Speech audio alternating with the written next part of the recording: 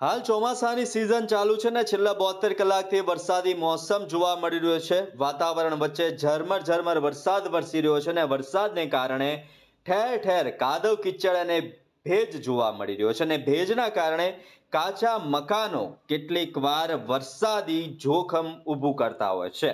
ત્યારે કાચા મકાનો ક્યારેક પડે એ નક્કી નથી હોતું. ત્યારે વડગામ તાલુકાના જૂની સેંધણી ગ્રુપ ગ્રામ પંચાયતના અશોકગઢ ગામે સવારના અંદાજે છ વાગ્યાના સમયગાળા દરમિયાન અશોકગઢ ગામે અમૃતભાઈ કટારિયાનું કાચું મકાન ધરાશાયી થયું હતું. જેમાં વરસાદના ભેજના કારણે વહેલી સવારના સમયે અચાનક જ દિવાલ ધરાશાયી થઈ ગઈ હતી. જેમાં કોઈ જાનહાનિ થઈ ન હતી. જ્યારે જૂની સેંધણી ગ્રુપ ગ્રામ પંચાયતના તલાટીને ઘટના વિશે જાણ થતાં જ તલાટી એ વાય ધાસુરાએ સ્થળની મુલાકાત લીધી હતી. બનાસકાંઠા જિલ્લામાં હવામાન વિભાગની આગાહીના પગલે વિવિધ તાલુકાઓમાં અને અંતરિયાળ વિસ્તારોમાં ભારે વરસાદ થયો હતો.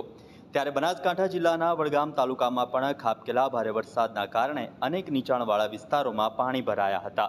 ત્યારે બનાસકાંઠા જિલ્લામાં અવિરત વરસાદને કારણે મકાન ધરાશાયી થયું છે. જેમાં વડગામ તાલુકાના અશોકગઢ ગામે મકાન ધરાશાયી થયું છે. જ્યારે હવામાન વિભાગની આગાહીના પગલે મકાન ધરાશાયી થતાં ઘરવખરી પાણીમાં તરબોળ થઈ ગઈ છે અને ગરીબ પરિવારનું મકાન ચોમાસાની ઋતુમાં ધરાશાયી થતાં હાલ પરિવાર બેહાલ થયો છે. ત્યારે પરિવારને માથું સંતાડવા માટે ઉપર આબ અને નીચે ધરતી જ એકમાત્ર આધાર રહ્યો છે. ત્યારે આ નિરાધાર અને બેઘર બનેલા પરિવારને તંત્રના લાગતા વળગતા અધિકારીઓ દ્વારા સહાય આપવામાં આવે તેવી લોકોની લાગણી સાથે માંગણી ઉઠી છે. આમ અમરતભાઈ, મગનભાઈ કટારિયા છે. મારું કાચું મકાન હોવાથી વરસાદના કારણથી દિવાલ પડી ગયેલ છે.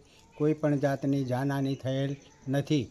તો આપ શ્રી સરકાર તરફથી કંઈ પણ સહાય મળે એ મળવા પાત્ર હું છું. તો મહેરબાની કરશો.